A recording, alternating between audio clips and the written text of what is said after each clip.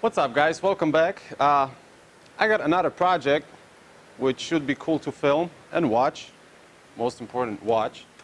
Uh, it's a fixture plate, smallest, no maybe not, not the smallest one I made, but one of the smaller ones. This uh, aluminum plate is uh, 18 inches by 4 inches by 1 inch and that's what we're going to use. We will use uh, Mitee-Bite clamps, pit bulls and Uniforce I believe they are called.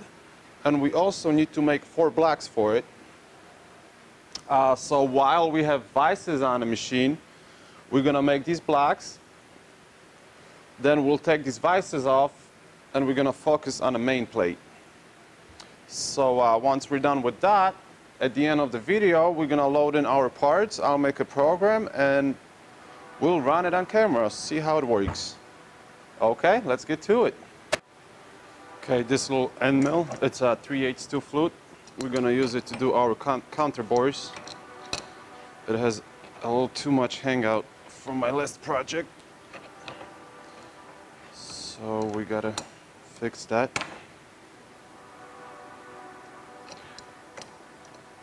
I usually like to uh, chuck up my tools as short as possible.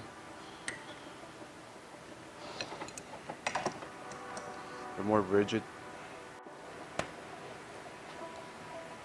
Okay, so we got four blocks that we need to make. We'll make them in these step jaws.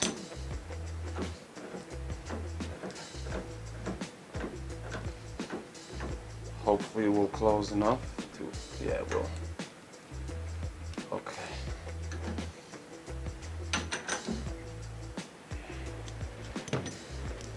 And before I pick up my offset, I want to scribe, scribe a line on it so I can load the other ones without need to pick up a new offset every time. So let's do that. I'm just gonna load them to this line right here. Okay.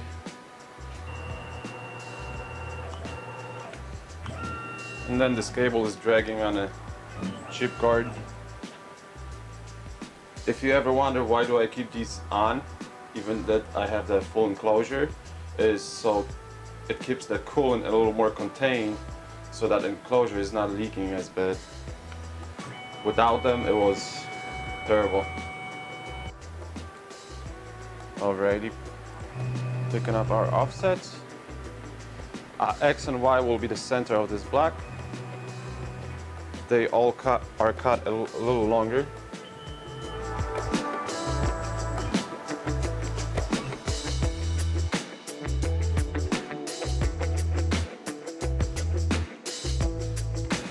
I really like using, using probes.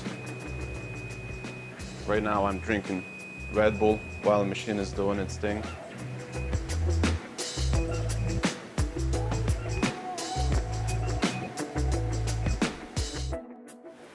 Let's load our program in.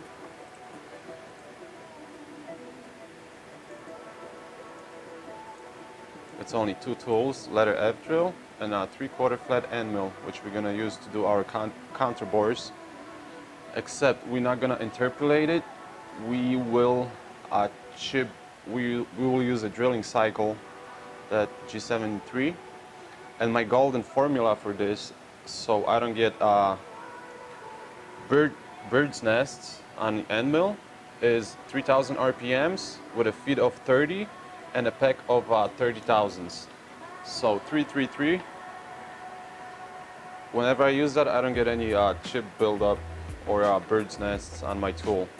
And it's, uh, it's important when you run on, when on one fixture, I make about 60 counter bores. So you don't want, you don't want to stop your end mill in the middle of the cycle just to clear out the chips. Okay, let's get to it. Died, so while this is charging, I'm gonna use my cell phone. I got three of those blocks done. This is the last one. And uh, we'll do it on camera so you guys can see what's going on. Okay.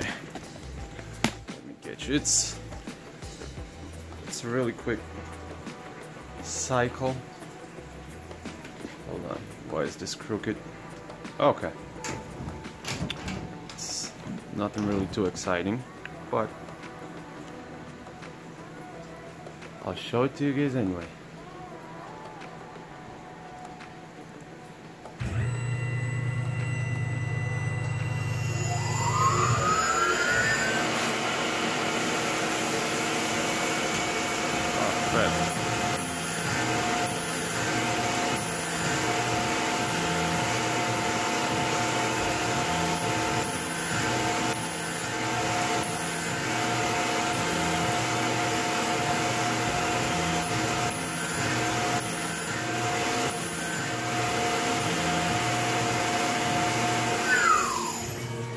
Okay, and here comes the three quarter two foot end mill.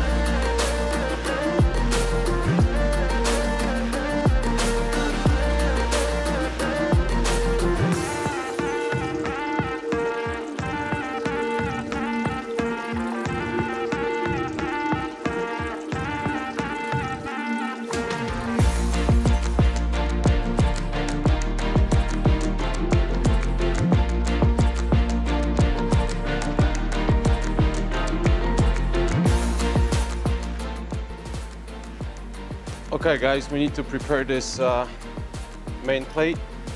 As you can see, it's dirty. This will be our top side as it's more beat up. We'll face it off. This is more smooth. So uh, let's head over to the bench and sand it down.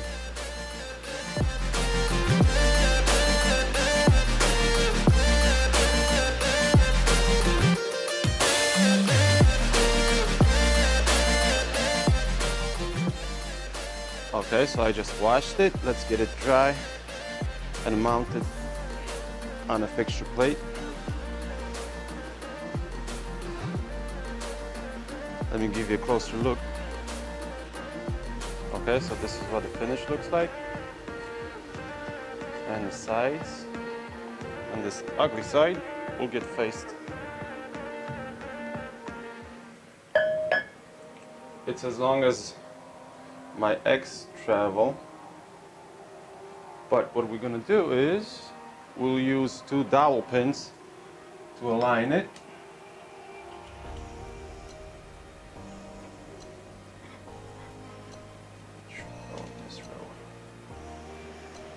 And of course there's chips in it. And the one that I need. This is why a fixture plate plugs would be nice. I didn't think about that when I was making this. this okay, get all the chips out. Pin this in. First, we'll clamp it on the side. We're gonna mill out our pockets, open pockets for the side uh, clamp, toe clamps. Then we put these on, we'll take the side ones off and we'll face it and do all the rest of the milling and drilling.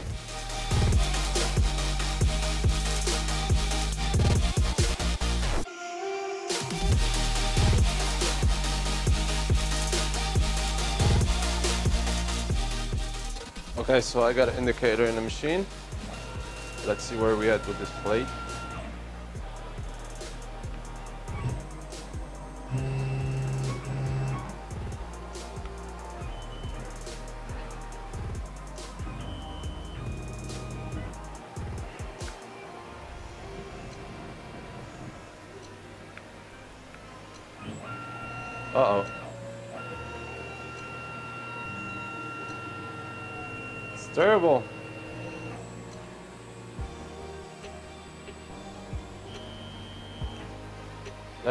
Good. Either our plate is not against the dowel pins, or my entire fixture plate is crooked. Okay, so as you just seen, we have a lot of taper on this plate. And we need to find out why. So let me cut these loose.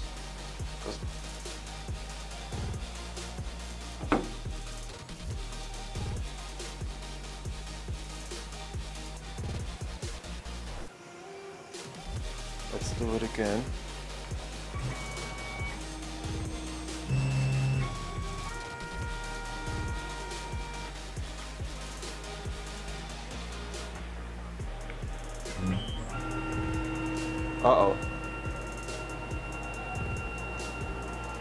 It's terrible.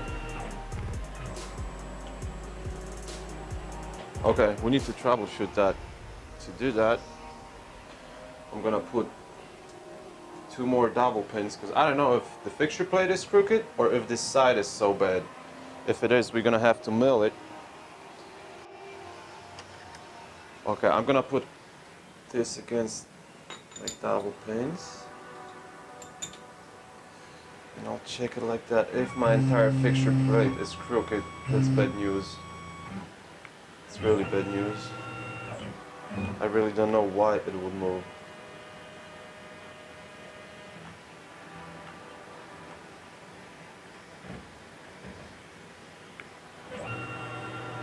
Oh my god, it is. Oh, It was at this moment that he knew. He up. that is not good. So, here's what we're gonna do since I gotta cut it loose and adjust that.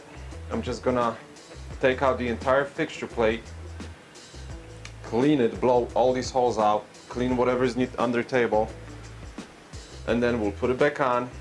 We'll get it in line with the spindle and move on with this project. That that's that was unexpected. I'm not happy about that. I wonder when it moved. I don't think I was making any fixtures. Oh, I was recently. I was making this knife fixture, which is probably off and it's not going to work anymore. That sucks. Okay, I'm down to my last bolt and I'll pick it up on camera so you guys can see what's underneath the fixture plate after a few months of, use, usage. Come on, Dominic.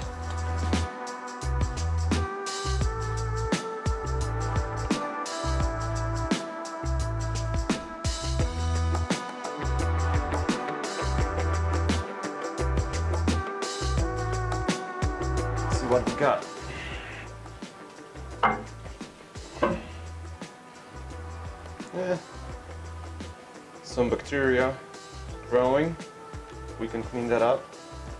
I see a tiny bit of rust, but that's fine. It's not really that bad. I had it worse before. So uh, let me clean that up. We're gonna dial in that fixture plate make sure it's square with the spindle. I really don't know why it moved. Now it bugs me. But anyway, we're gonna dial in that fixture plate and we'll get back to our project. I use a wrench to clean up all the slots.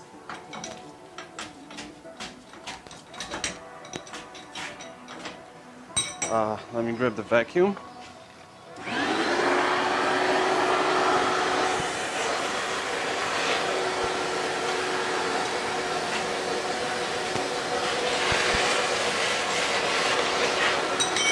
Okay. And now I'll put a T-nut in that slot and push it along. If you look with my wrench, I pretty much got most of it, but now that I inserted a T-nut, look how much more chips will come out. You see that? It's way better. Okay, back to where we finished. I got everything cleaned up. The plate is mounted back on the table, the fixture plate. I already checked it, know it's good. But let's do it on camera anyway.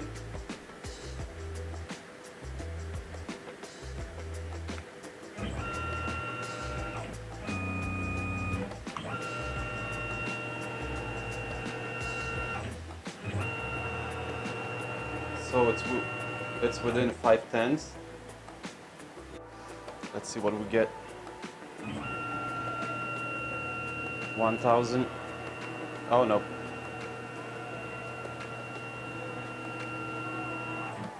I would say it's good. That needle is uh, jumping around, but right here it's showing zero again. So it's within time and a half, oh two thousandths.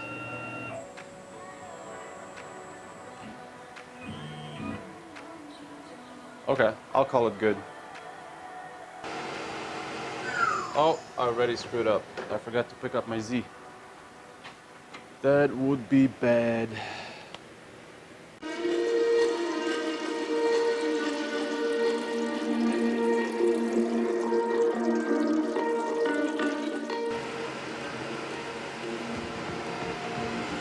So far, so good. I guess I can let it rip.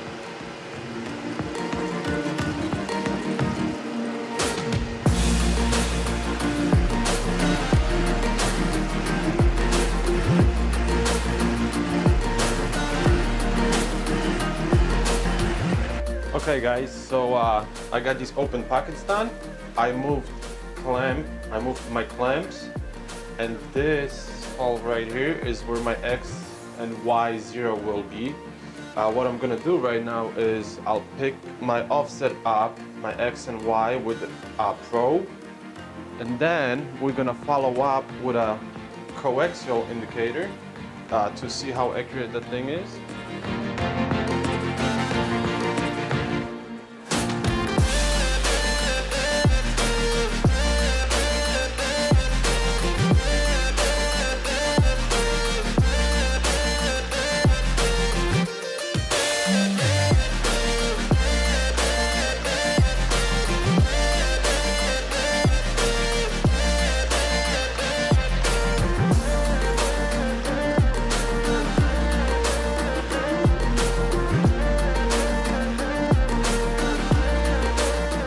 Let's check our numbers. Our numbers are. Zoom. Focus. Okay, so we were off 9 tenths on X and uh, 1,000 and 1 tenth on uh, Y. So we'll make that our zero. I could probably get it closer, but there's no point. Okay, so now that just because I'll have to get so close to these clamps, I'm gonna face this off by hand.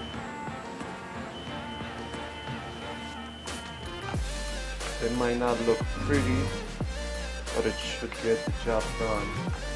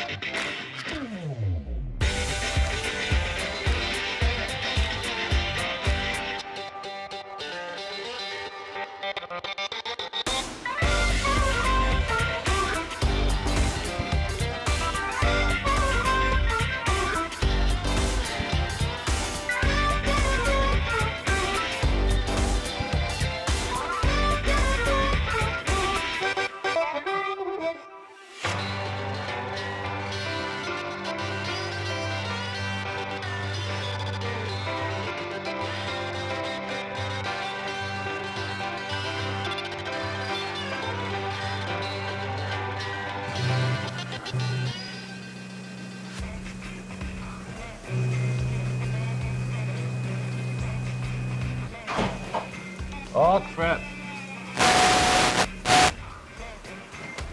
Snapped it. God damn it. Uh,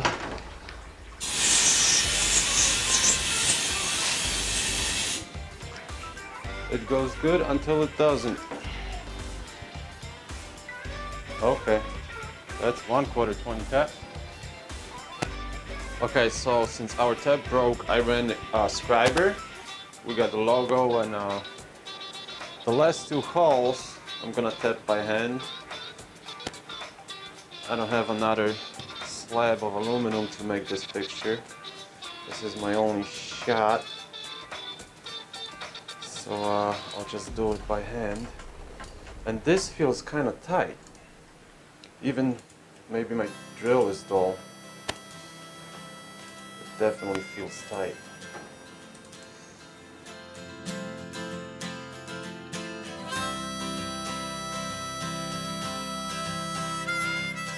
Okay, uh, we're gonna do the pockets, then we will install our uh, blocks. These blocks, we're gonna install them on a fixture, like so. This is where that tap broke. And we're gonna drill them in the center, then ream them to uh, 3 8 and we're gonna pound a 3 8 dowel pin in there. So we're gonna have two uh, bolts holding those blocks and then a dowel pin for extra security except on this one since that tap is stuck in there.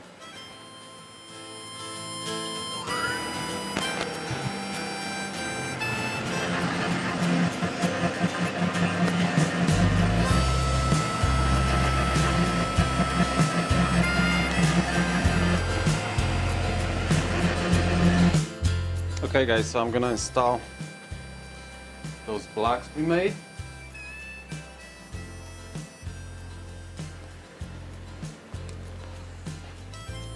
so we can drill them while they are on the fixture and ream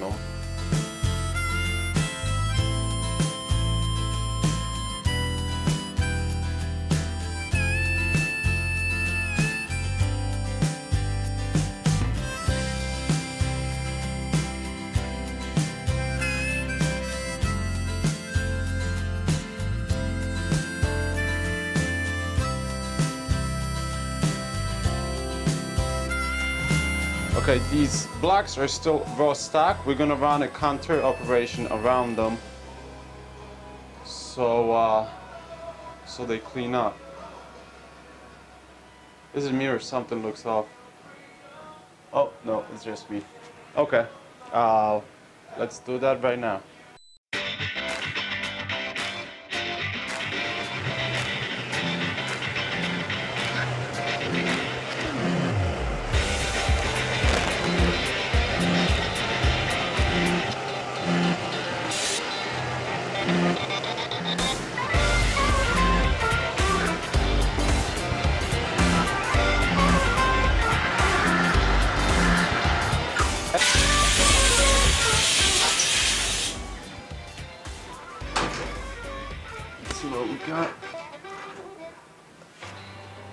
Didn't touch any of these blocks on the left side. I wonder why. We can find out how off we were.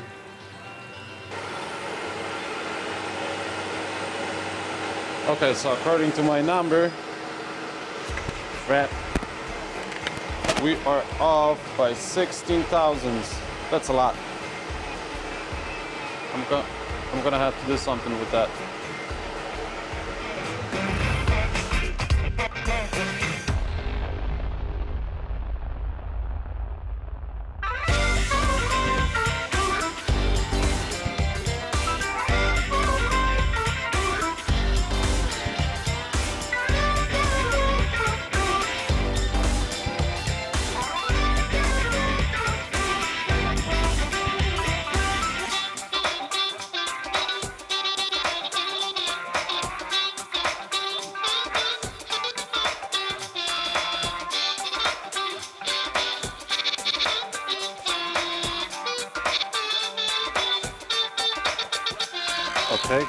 We made it. Here's the fixture. We got two bigger blocks, two smaller blocks, and two squares.